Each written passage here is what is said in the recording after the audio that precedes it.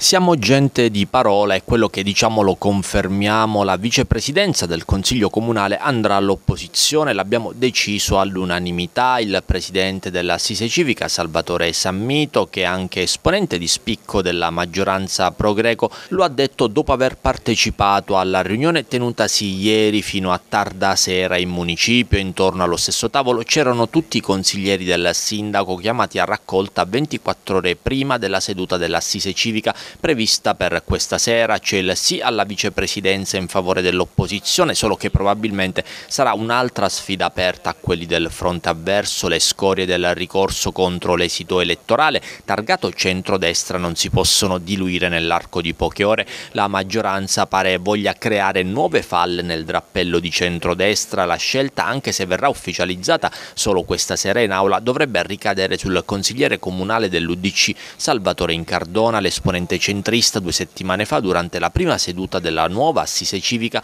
ha fatto il gran rifiuto non accettando il patto dell'alleanza di centrodestra che proponeva la vicepresidenza di Gabriele Pellegrino, consigliere di Avanti Gela e più suffragato in assoluto al termine della competizione elettorale. Incardona l'ha detto pubblicamente e come se non bastasse l'Udc, a cominciare dal coordinatore provinciale Silvio Scichilone, ha nettamente preso le distanze dal ricorso proposto dai teorici alleati contro il risultato delle urne. Se in aula dovesse passare la proposta in Cardona, allora proprio il gruppo UDC potrebbe quasi ufficializzare una nuova collocazione politica probabilmente più vicina alle posizioni del sindaco, la candidatura del coordinatore cittadino del partito tra le vere sorprese delle urne a vice del presidente Salvatore Sammito sembra ben voluta anche dal gruppo di un'altra gela, quello numericamente più folto in aula e non dispiace agli altri pezzi della maggioranza, non sembrano intenzionati a far passare altre soluzioni. Al ricorso ormai depositato direbbero di no a Pellegrino che ha già ritirato la candidatura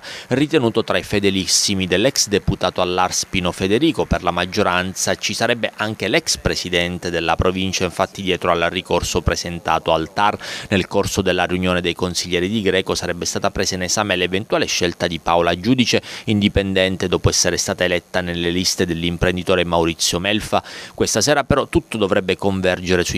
Incardona nelle stesse ore di ieri anche quelli del centrodestra si sono dati appuntamento, non vogliono arrivare impreparati alla seduta consigliare, non si perdono troppo in parole, ma il concetto è chiaro, non c'è nessun candidato di centrodestra alla vicepresidenza del Consiglio Comunale, dicono non ci interessa se qualcuno venisse eletto, allora sarà solo a titolo personale, quasi una staffa definitiva, non solo sul tentativo di dialogo costruttivo con la maggioranza, il ricorso del resto è inasprito tutto, ma anche sui rapporti con l'Udc per le commissioni consigliari invece ci sarà da attendere, bisognerà anzitutto adeguare il regolamento dopo la riduzione a 24 dei consiglieri comunali.